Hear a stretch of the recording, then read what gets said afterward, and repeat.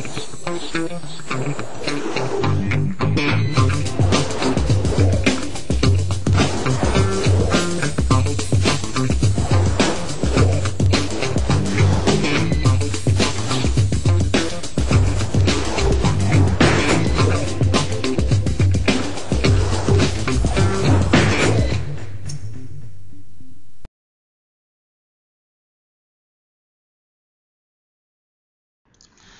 大家好，啊，上两节课呢，我分别向大家介绍了 MySQL 中的部分方法，还有 MySQL 扩展库中如何去处理结果集，还有使用结果集类中的全部方法。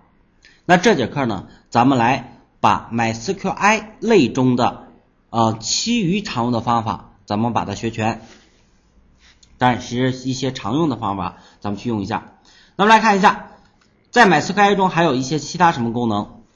比如说，使用 MySQL 执行多条语句一起执行，还有使用 MySQL 完成事务处理，还有其他的 MySQL 类中的成员使用，分这三方面。而执行多条语句呢，咱们这是咱们第一方面要做的实验。多条语句也分有没有结果集的，那没有结果集怎么处理？有结果集怎么处理？那看一下。我们执行多条语句使用的是这个函数，执行多个查询，而我们原来执行的所有查询都是单个查询，则使用的是这个。所以我们借助这个执行多条语句，这个执行多条语句有一个特点，里边的多个 SQL 语句要用什么分号隔开。所以呢，我们来做一个这样的实验，我们先执行一下没有结果集的。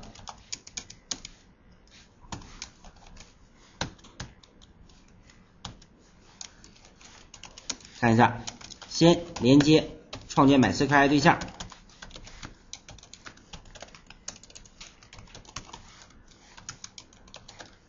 ，root 用管理员登录，用我们呃这几次实验一直使用的库，然后，嗯，既然有连接了，我就不判断连接成功失败了。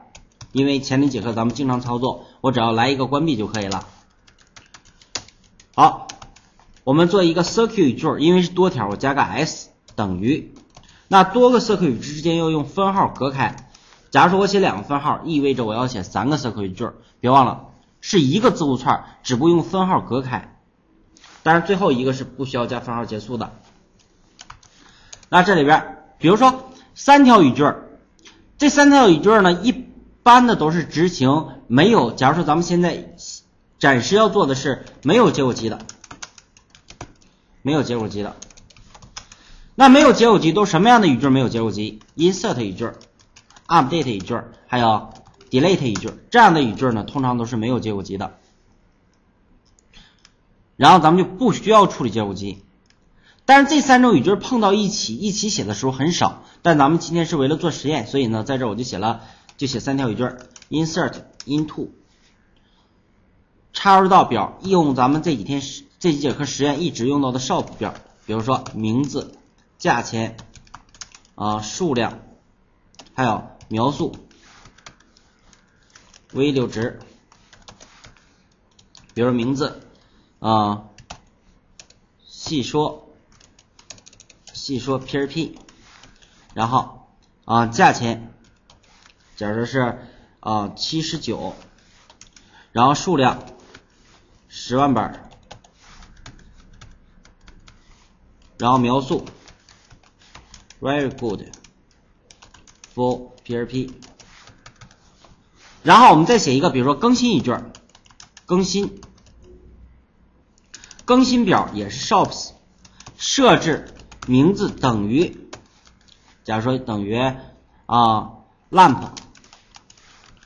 我就直接改这一个就行了。var 条件 id 大于啊四十的，我都改成啊名称都改成 lamp，然后再写个 delete 一句，delete 删除 from 从 shops 这个表里边 var 条件 id 啊大于四十呃 id 小于三十的吧。这样的话，三条语句我们就写完了，然后一起执行就可以了。那执行 SQL 语句，我们使用的是什么？使用的是 MySQL 中的 multi 下划线 QERY，看一下，就是我们打开的这个。然后它返回的是布尔型值，所以呢，成功返回的是真，失败返回的是假，所以我直接在这儿判断就行了。如果成功，我怎么办？否则失败我怎么办？如果成功，那当然我就输出啊多条语句执行成功，然后那成功我就想知道。因为这里边有插入语句，我想知道最后插入的 ID，最后插入的 ID 和我们原来一样，调用 MySQL 里边 insert 下划线 ID 这个属性就可以了。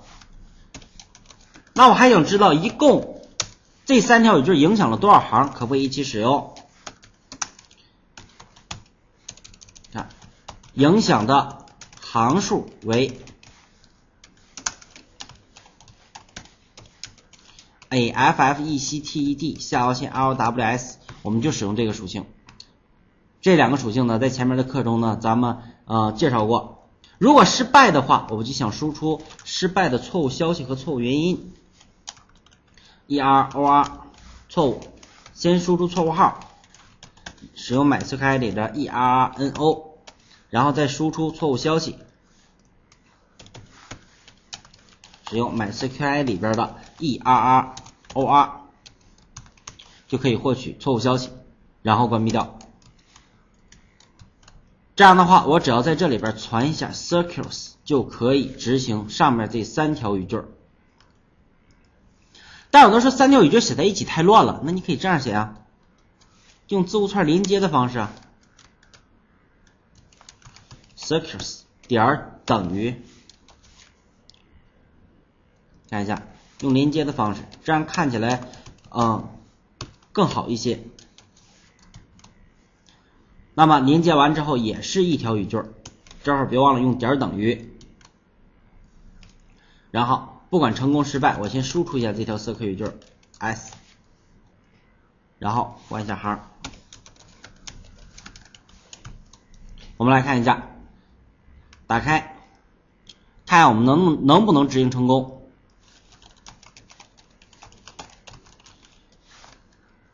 嗯，看一下，插入语句更新大于四小于三十，多条语句执行成功，最后插入的 ID 是九十四，影响的行数为一条。那不对呀，这里边怎么能影响行数为一条呢？你看一下，那我们来看一下这条些语句执行成没成功？没成功，咱们再找原因，是哪块出的问题？MySQL 杠 U root 杠 P 一二三四五六，咱们需要进入的库是细说 PHP DB 这个库，查询从所有的啊商品，好，最后一条九十四。看一下，啊，十万本 very good for PHP 插入成功了，然后所有的大于四十的 ID 都改成 lamp 了，也对了，我先排序一下，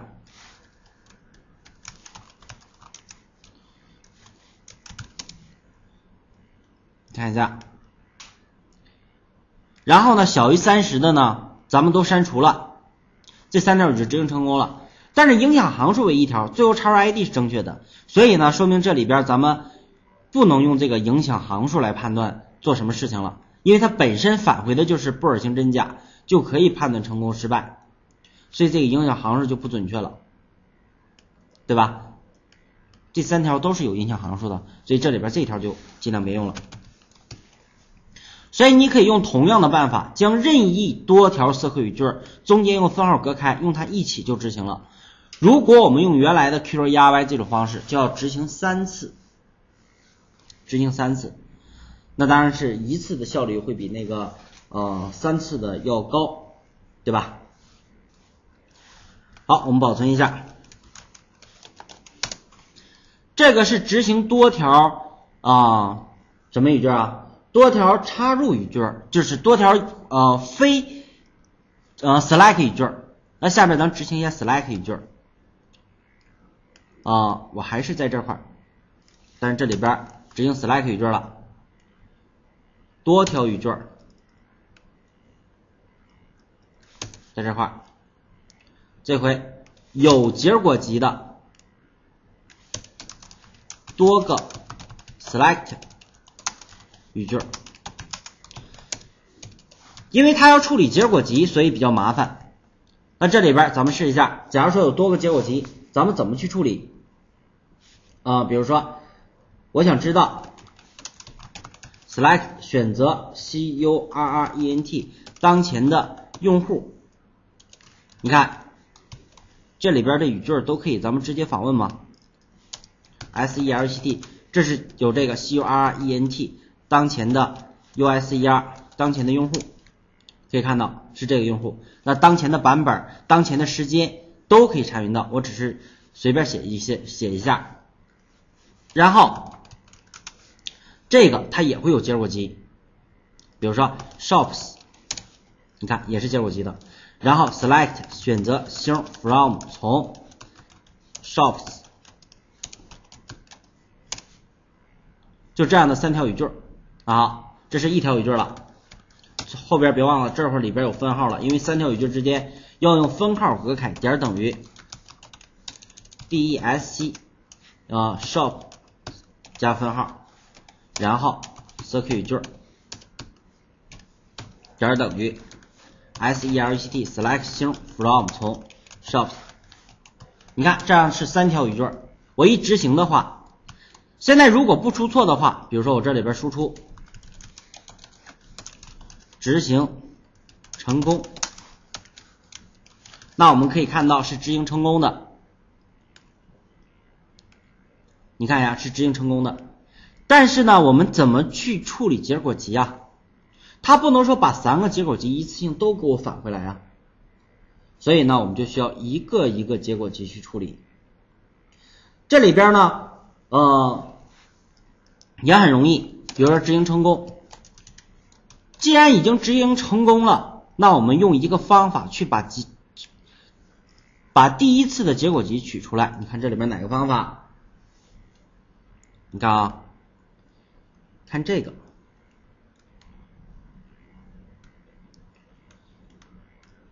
从查询中取出一个 MySQL 结果集。你看返回来正是咱们上节课。学过的那个结果集，它第一次使用返回这里边第一个结果集，就返回当前的结果集。你看啊，这块使用 result 结果集等于通过 MySQL 里边的哪个方法啊？store result 结果集，看一下。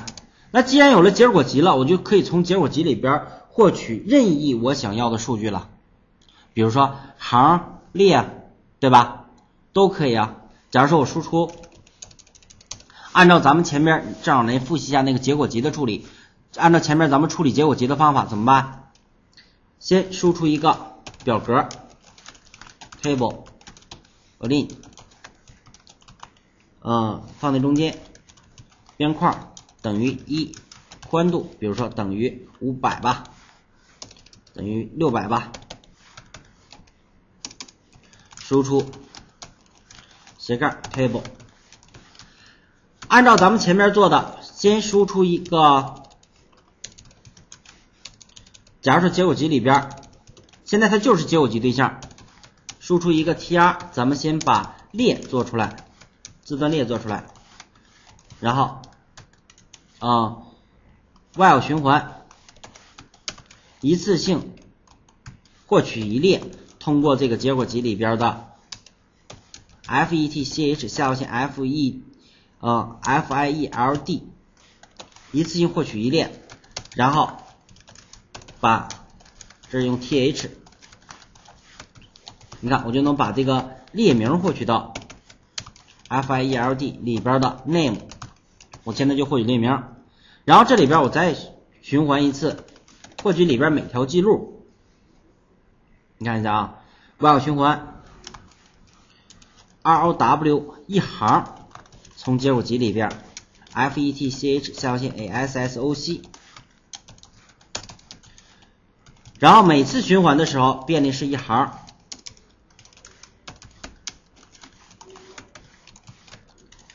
然后里边因为又是一个数组，咱们再用 for each 便利作为一列，然后输出 td 斜上 td，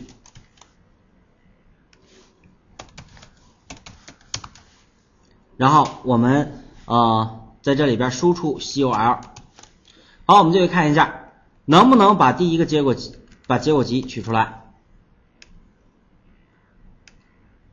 看可以的，当前用户这个，那假如说这个是可以的，那我想获取第二个接口集，是不是再执行一遍呢？你看我再刷新一下，假如说我复制一下，你看我又使用这一遍。假如说你会呃肯定会按前面那种想的方式，说我再执行一遍是取第二个接口集，你看是这样的吗？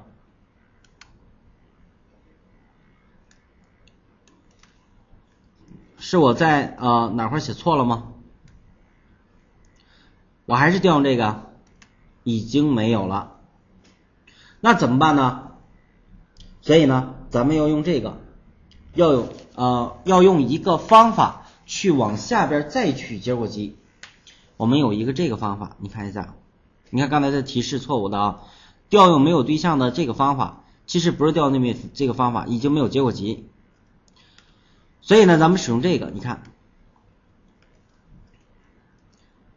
，n 年 next 下一个结果集，所以呢，它不是自动走的，我们得手工的让它走走动一下，所以这直接调用 MySQL 里边的 next，看一下，使用。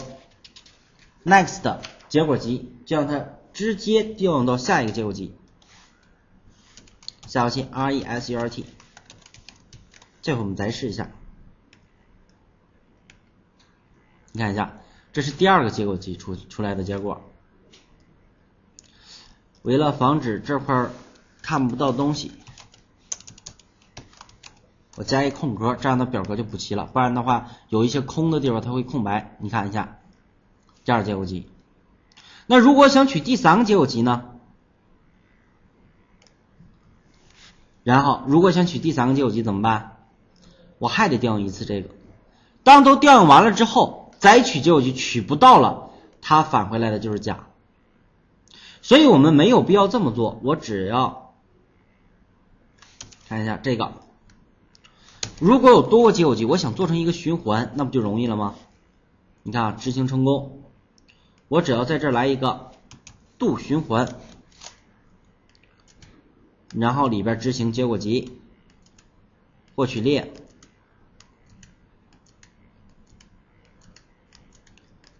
看一下，这块加一个 while，do while 循环。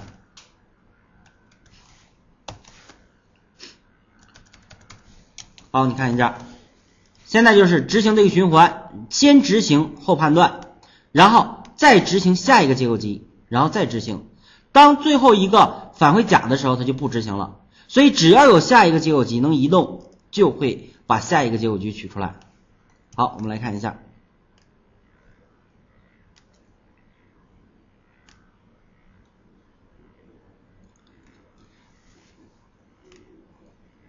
都取出来了。但是这个宽度三个宽度都一样，就不太好看了。我们可以在这结果集里边，这个宽度，比如说啊，每列呢是一百，对吧？所以我这块就可以做一个样式，一百。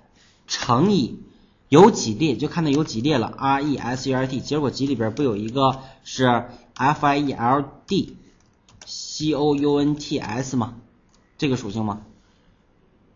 就看有几列，乘一百。嗯，这个值我写错了吗？result 结果集里边有一个，嗯，Field count 没有 s 吗？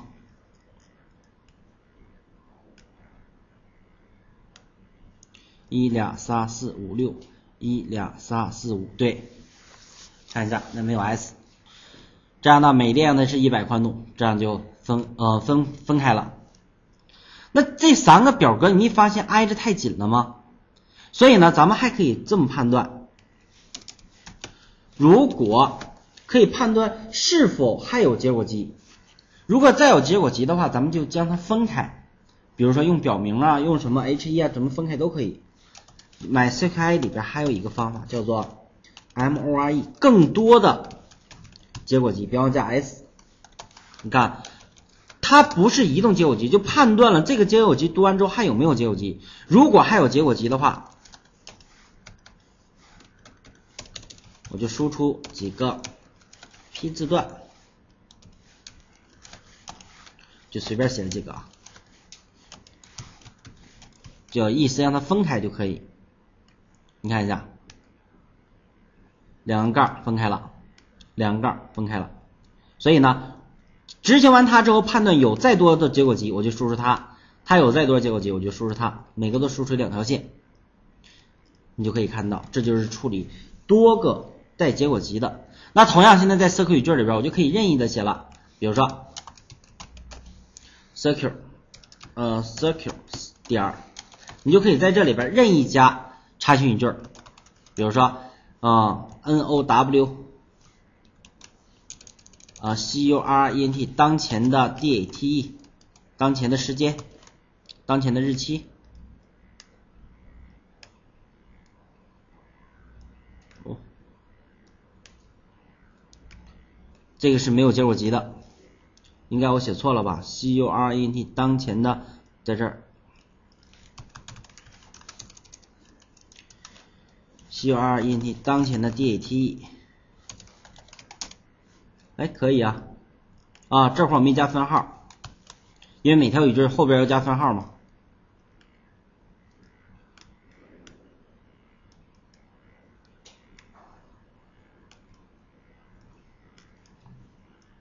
嗯，哦，点等于，手误啊。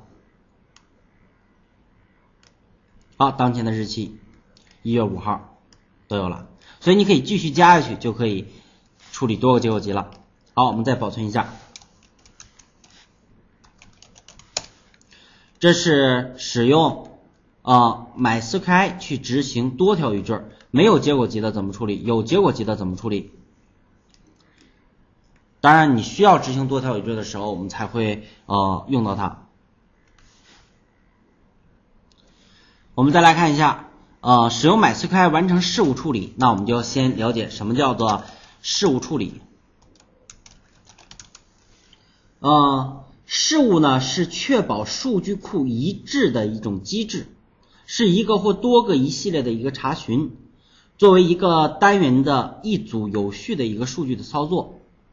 说白了就是将呃一组的 SQL 语句的操作看成是一件事儿，看成是一件事儿。看成是一件事儿，那在这一件事儿中，有任何一个环节，有任何一个环节出错，我们都去，都将整个事物，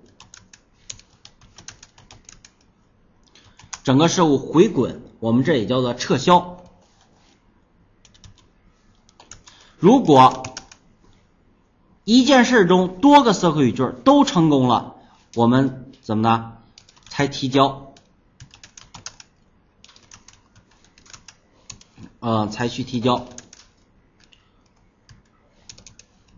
嗯，这样的，就是把多个 SQL 语句呃，多个 SQL 要完成的任务。看作是一件事儿，一个事物。当然，如果你对呃单条语句的操作就没有必要用事务处理了。比如说一个表的修改，呃修改一次，删除一次，插入一次，这样的话没有必要用事务。也就是呃涉及到哪怕是单个表，但是呢你多条语句一起完成的一个整体才成为一个事务。所以呢，事务功能呢是企业级数据库的一个重要的部分，因为很多业务过程都包含多个步骤，如果任何一个步骤失败，则所有步骤都不应该发生。就比如说一个呃买在网上买东西的过程，啊买在网上做买卖东西吧。买卖东西的过程，那这个呢就可以看成是一件事儿。那你首先呢，比如说，呃，张三向李四，啊，比如说张三向李四买了一个电脑，比如说，啊，花了，啊，假如说，呃，八千元。八千元，那这一个过程呢，咱们就需要几条 SQL 语句来完成呢？首先，从假如说是在网上转账，要从张三账号里边扣除八千元，然后在李四的账号里边加上八千元，这就是两呃两条 SQL 就是需要完成的。然后呢，在商品表里边把某个品牌的电脑去除一台。那整体这个呢是一个事物。那在这个事物中，如果张三把钱转出去了，李四没收到，这就是事物中的一个环节出错了。那如果你要不用事务处理的话，那张三钱转出去，李四没收到，那么啊就是一个错误啊。张三说花钱了，李四说啊我没收到钱，那电脑也不能给他，对吧？所以呢就是环节中出错了。那或者是张三转出去了，李四没收到的时候。或者是商品表中那个电脑没有扣除，那也是错误。所以呢，就把整件事当成一个整体就可以了。我们先用 SQL 语句来完成一下任务。对于这个呃事务处理，事务处理在 MySQL 四以及以上的版本中呢，都默认的启动了这个事务。但是呢，咱说 MySQL 这个表是有存储引擎的，所以呢。目前只有，比如说像 InnoDB 表类型和啊 BDB 表类型这两个表的存储引擎，也是这两个表类型才支持事务，支持事务。那么咱们现在一般默认的表类型 MyISAM 是这种表类型，所以呢。咱不能用默认的表类型，创建表的时候指定这两种的一种。但是咱们现在说了，用的最多的现在表类型不就是 InnoDB 和这种表类型吗？而默认这种又不支持事务，只有这种支持。所以当建表的时候，一定要使用这种表类型。那么，假如说现在咱们就简单建一个表，比如说 CRET 创建表，假如说咱们这里边叫做啊账号表。就叫 zh 吧，账号表。那这里边呢，我有个 id，int，not 非空，就是说做个自动增长的 a u t o 下划线，increment，然后 P R I M A R M A R Y K E Y 主键，然后有个名字，嗯，三十个吧，然后里边有个呃余额，呃，咱们这里边。叫什么都行，比如说我这个价钱吧，嗯，账户这账户表呢叫余额，然后这里边使用 double 大不行的，你看我使用这个来处理吧，好，但是我直接回车的话，它就是默认的表类型这个表类型了，所以我要指定 InnoDB 的表类型才能支持事务处理，所以这块类型等于 in。no db 这种表类型。才可以。你看创建成功。dsc 看一下账号表就有这三个字段，咱简单一点。而在默认情况下，你虽然是开启了这种表类型，在默认情况下，所有的表都是自动提交的，默认表都是呃自动提交的，也就是自动提交的一种表类型。什么叫自动提交？就是你插入完数据是不能回滚的，比如说我 insert。插入两插入数据，插入这里边，比如说，呃，账号表里边插入名字字段和余额字段，value 值。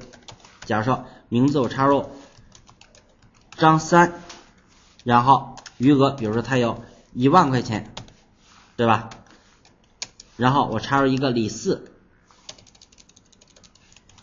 李四他有两万块钱，你看一下。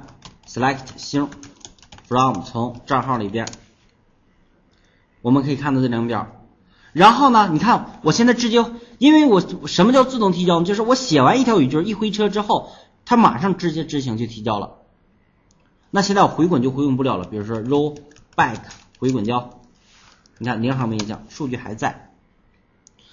所以呢，咱们第一步就要先把自动提交先把它关闭掉。让它怎么的不能自动提交，然后咱们手工的去提交才可以。所以呢，咱们第一步需要第一步关闭自动提交，然后第二步呢，如果在数据库这里边呢，呃，也是如果自动提交打开了，那必须呢，我们得开始一下事务。如果自动提交是关闭的，就不需要使用嗯开启这个事务了。当然，咱们在 MySQL 里边是不需要这步的，在 PDO 里边需要嗯开启一下，start 开启 start 开启呃事务，那使用的命令就是 start 开启啊 t r a n s a c t i o n 事务这个忘加空格了，好，开启事务。这样的话，我们这个事务就开启了。现在我在执行所有 SQL 语句之后，已经自动提呃，哦，开启事务，咱们呃执行错了，得先把自动提交关掉，设置自动提交 a u t o c o m m i t 等于零，就把自动提交关掉了。然后我们再开启事务就可以了。现在我在执行所有色 q 语句，我都可以更改了。比如 D L E T E 删除 from 从账号表里边，你看我都删了。select 星 from 从账号表里边已经没有记录了，但是我使用 roll back，你看一下数据又回来了。那比如说我现在执行呃更新一句 update。设置余额等于，比如说三万，万条件，嗯，ID 得先更新哪个表？更新账号表，ID 等于一的，你看一下，变成三万了。那么我如果已经确认无误了，我只有 COMMIT 提交才可以。然后你看，提交，我回滚。再查询还是三万，所以需要手工的提交。那这里边我们就需要开启事务之后，如果没问题的提交，如果有问题的话回滚，也叫撤销，就这样的一个过程。这是在命令行中的对数据库直接操作。那咱看在程序里边如何完成这样的操作？那在这里边我先把自动提交再关掉，不是再开启。不然呢，咱一会儿看不到效果。现在是这样，啊，已经提交了。那好，我们在程序里边，你看一下，刚才忘记不知道保不保存了啊。我就可以这样。首先呢，我在程序里边，我们需要有这么几个。也是 MySQL 里边的，你看啊，自动提交，然后提交还有什么？还有回滚，rollback，有这么几个属性。所以，假如说我这块有一个变量，这儿写上事务处理，你看啊，e 呃，假如说有一个 e r o r 一个变量等于真，那我这判断一下，如果这个变量一直是真的话，我就。假如说我刚就想执行那个转账过程，转账成功，然后我就用调用 MySQL 里边的 commit 这个方法提交。如果这个变量变成假了，输出转账失败。那失败的话，我就让整个事物怎么的回滚？这调用 MySQL 里边这两个方法。然后呢，呃，在刚开始开始事务之前，有事务之前，我得先需要把自动提交关掉。MySQL 里边有一个叫做哎 UTOCOMMIT 自动提交，里边存零或者存假这个参数，就可以把什么呃。自动提交给关掉，自动提交把把它关掉。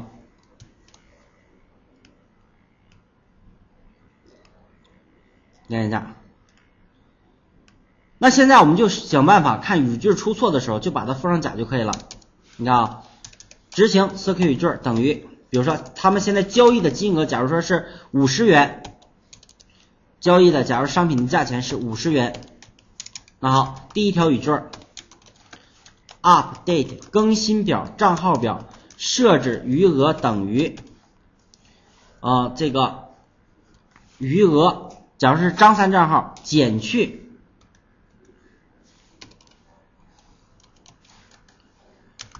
P I C 减去这个五十，where 条件 id 等于一的或者是等于张三的。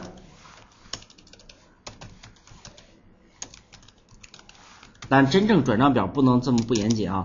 然后再做一条 SQL 语句，update 账号设置余额等于将这个余额的原来基础上加上这个价钱，因为他们转的是五十块钱，对吧？where 条件 id 等于李四的这样两条语句。那好，咱分别执行它 R E S E R T 结果集等于使用 MySQL 里边的。query 执行 SQL 语句，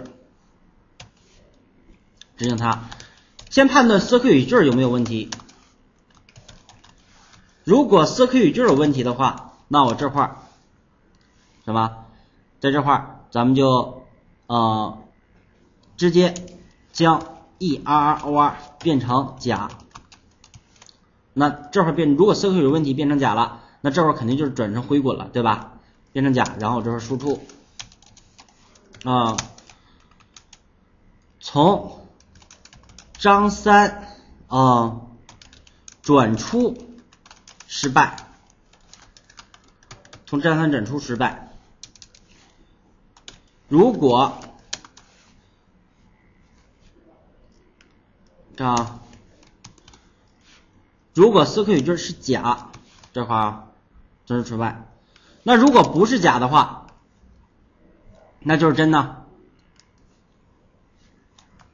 是真的话，写这儿吧。我在判断，从结果集里边，从那个买出开里边应该有个 AFFECTED，LWS 银行大于零，看有没有影响行数。如果它大于零的话，啊，就证明营养成功了。如果它等于零，失败。这块是它为假的时候失败，然后是为真的时候，咱再看一下它大不大零，然后呢，也是 e r o r 让它等于什么？等于甲，然后这块输出，呃，张三的钱没有变化，张三的钱没有变化。如果都成功的话，否则的话，那我这块输出，从张三账号中转出。成功，换下号，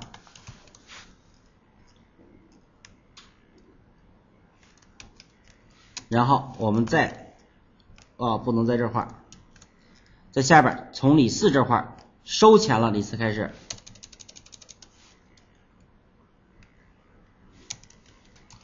然后从李四转入失败。然后这块变成甲，李四的钱没有变化，然后向李四账号中转入成功。所以这两个环节，这两个思考语句，任何有问题都会把这个变量赋上假值，全局变量赋上假值。所以呢，任意地方赋上假值，它这都会是回滚。那现在咱们是成功的，当然你都执行完之后，再顺手把什么？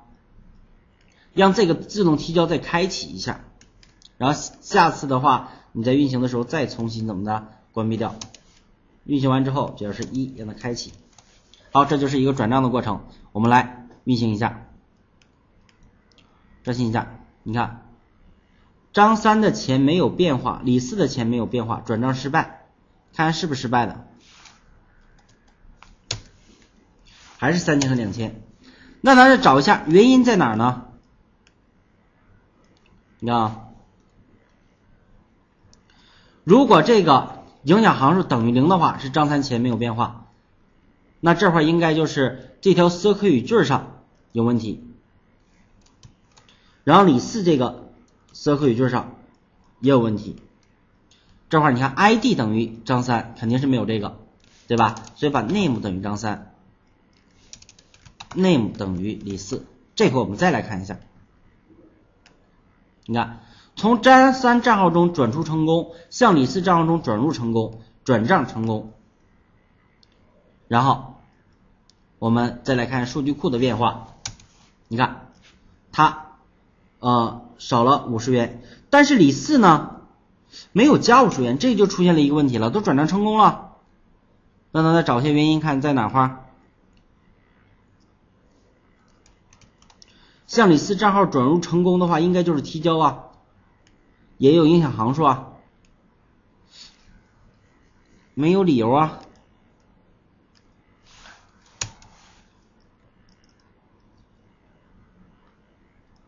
从账号里边，李四应该多了五十才对呀。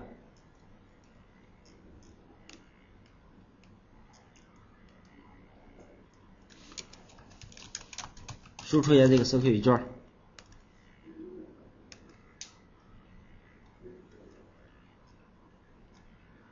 更新这个李四，嗯，张三扣除成功了，李四转入没有成功。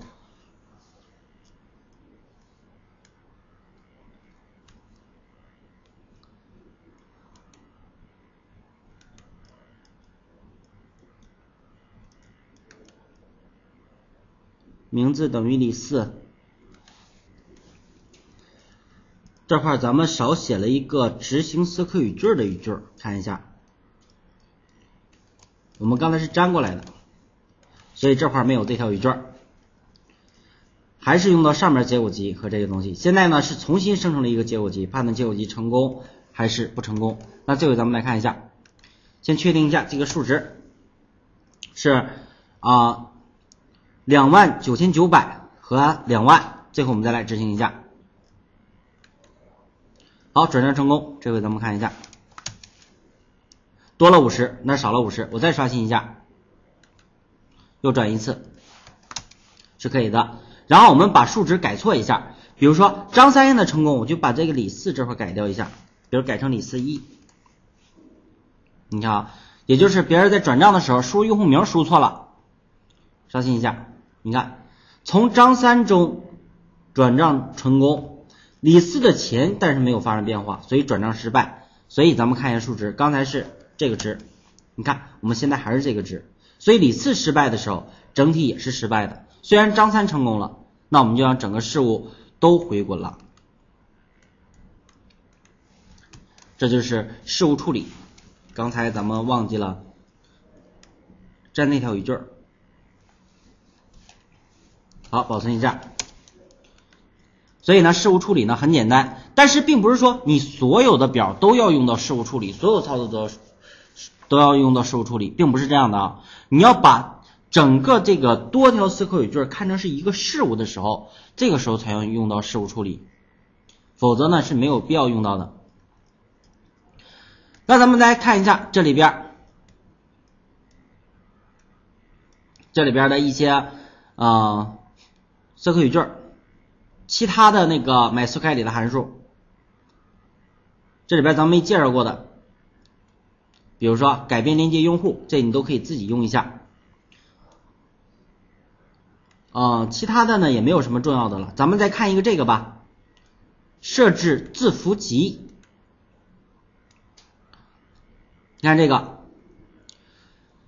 也就是咱们通过这个可以改变 MySQL 的传输字符集。通常咱们设置字符集，你肯定是这样的，比如说在这块儿，刚才已经保存了，把这些删掉。你使用 MySQL 在查询之前，比如说连接字符集，咱说了，解决字符集呢是程序员的一种能力，所以呢，你经常会，假如说。服务器端存储的现在是 U T L 八，看一下状态写 U T L 八，连接字符集也是 U T L 八，所以咱们通常使用 set names 模式，比如说 G B 二三幺二，你看一下，那我们就就能把什么，呃，客户端的字符集和连接字符集变成 G B 二三二，这样把 U T L 八数据读过来就是按 G B 二三二设置的。但这只是在思科语句上，我刚才使用的是这个传输字符集 set name 级别三二。如果设成 UTF 八，这会儿没有杠八了啊。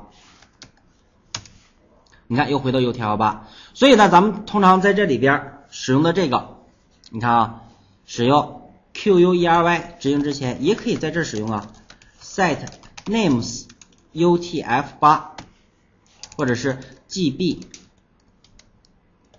二三幺二，看这个，那我们来读取一下中文。那我们先看哪个表里边有中文，嗯，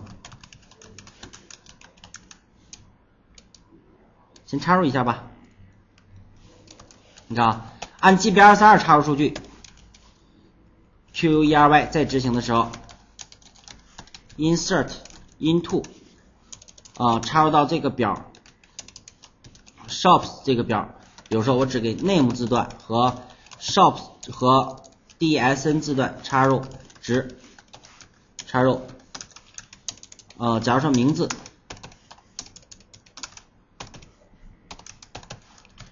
名字叫做你好，很好，两个中文，那你看呀，我现在执行插入语句，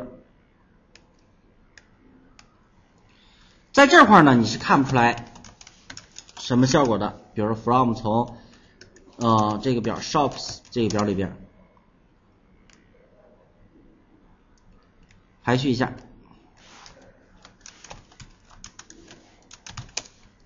你是看不着什么九十五、九十六、九十七。那我们查询出来，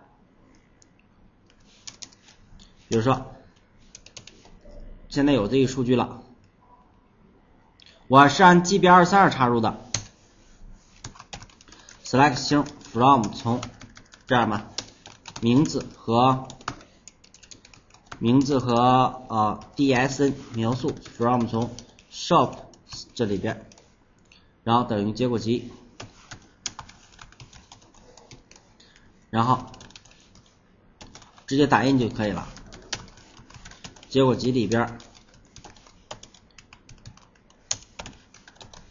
取两次。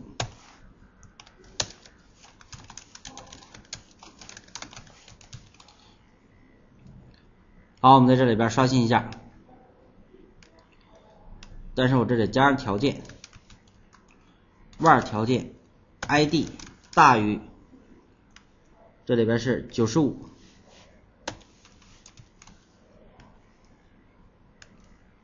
你看是这个传入字符集。那假如说我给这块改了 UTF 八呢？你这个再看一下，就变成这种了。那我都说了，也没变成汉字啊。其实你不要考虑这个是不是汉字，因为咱最终显示成汉字，因为我插入的方式就不对。因为我刚才插入的时候就不是是在这个文本里边直接写的文字，并不是表单提交过来的。那假如说，你看啊。啊，我把这些保存一下。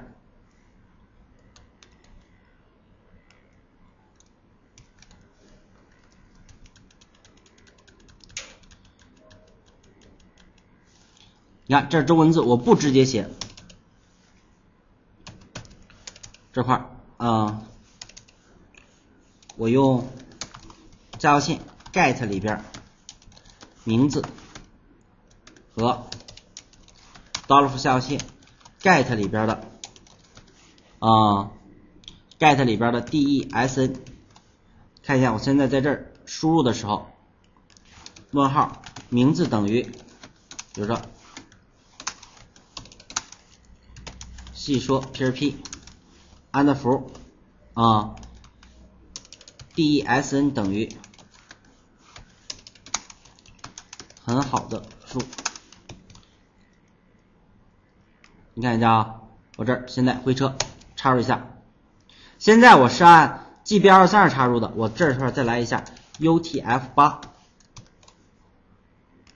我再执行一下同样的语句，好，这回咱看一下这里边，你看保存的就不一样了，九十八、九十九两种字符集，所以我这块再去查询的时候，大于九十七的九十八、九十九。这两条语句，先按 UTL 八取出了一下，你看一下什么数据？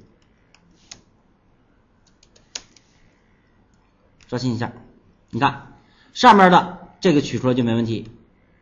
那我这块再按 GB 二三二取，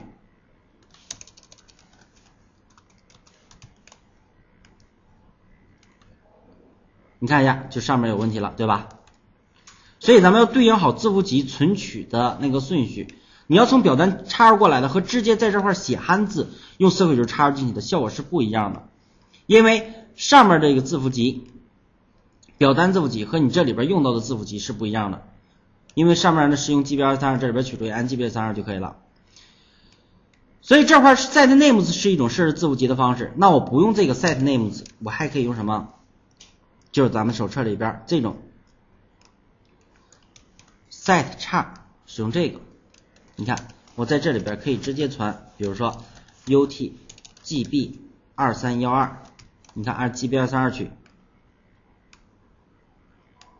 也是一样的。我给它改成 utf 八，utf 八，你再看一下，上面系数 php 按 utf 八存的就有了，对吧？这就是使用这个设置字符集在 MySQL 里边居多。当然了，如果像咱们过程化的东西，不存储存储过程的，就直接在里边执行 SQL 语句，不支撑字符集设置，直接写呃 set names 就可以了，存储字符集。当然还有很多呃解决的办法，你要根据你实际的显示字符集，然后呢不不断的做实验，才能最终把所有的字符集都确定好。另外呢。你直接写的文字和数据库取出文字，它并不一定是字符集，所以要把你的开发工具和数据库的字符集要统一。比如说，我现在开发工具 UTF-8，那么数据库中字符集我用的也是 UTF-8，这样就可以了。这就是啊，其他的一些函数设置字符集。那么还有一些呢，咱们就需要讲到预处理对象的时候再去介绍了。其实大部分讲过这些呢，也嗯。足够大家使用了。